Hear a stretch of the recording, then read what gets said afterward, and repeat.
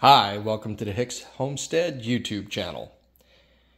So, about a week ago, on Monday, I did uh, a simulated grid down situation.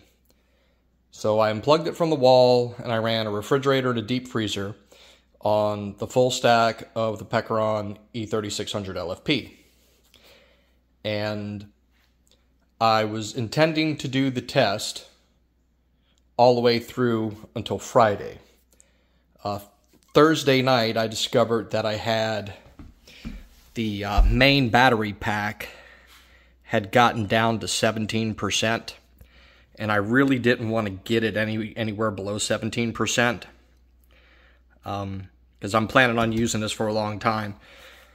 So the fewer cycles I can do, the longer it's going to last. I know it's rated for 3,600 cycles. And a cycle is down to 20%, so they say. Um, right now, it's uh, charged back up to the uh, 20% or 80% set point for um, being connected as a UPS. Um, something interesting that I noticed is that when we go into the battery health page, I wish it would show specifically the battery percentages. But the one battery that I have labeled 1 is almost completely charged. Uh, the host battery is the lowest of all of them. As you can see, there's kind of an inconsistent state of charge across the battery packs. And I don't know if that has anything to do with the way that I have these wired in on the side over here. So I have the two bottom batteries. Uh, the far one is coming into the bottom and into the charger. And I have a similar situation on the back here where the bottom one is coming in and then the top one's feeding into that. Um, the way that I have them numbered in, in the menu here, I have battery zero on the bottom, battery one feeding into that, battery two, and battery three. So I don't really understand why there's such a discrepancy because zero and one are obviously higher than two and three and the host is looking like it's sitting somewhere around a 15% or 50% state of charge. So, just something interesting that I thought you guys should look into um, with your usage. Uh, right now, I don't have any solar panels to hook up. Uh, that's going to come when I move to the new homestead. I'm excited about that. Matter of fact, this is probably going to be my main source of power for my RV and camper until I get uh, power, temporary power pole and everything installed at the new place. So exciting times are ahead. And I do plan on maxing this thing out with solar. As I talked about in a previous video, if you look over here on the side of these batteries,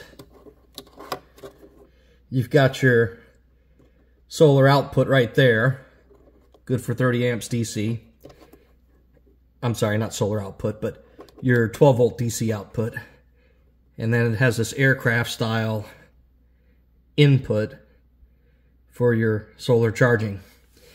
And it's interesting the charge rate that's there of up to 95 volts in at 400 watts. Uh, that'd be interesting to find a panel that has that high output but only 400 watts. And all of these have that input capability. So in addition to the front panel, where you have your, your two XT60 inputs that are good for 1200 watts each, you have this input here, which is good for your uh, 150 watt max. So that's a lot of solar power you can put into this unit. And I did confirm with Pecron that you can indeed charge those battery packs along with the main unit.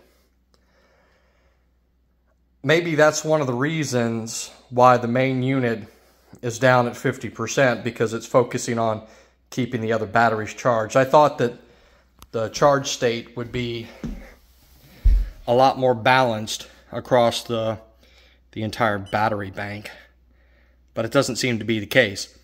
So if any of you guys out there have a little bit more experience with uh, the full stack and what your battery percentages are, uh, go ahead and leave a comment because I'd, I'd be interested in figuring out a way to optimize this without having to do a bunch of uh, trial and error. So that would be awesome if you guys had comments for that.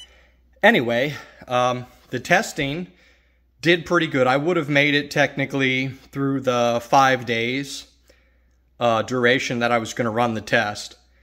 But like I said, I was concerned that the main unit was getting down to 17% state of charge.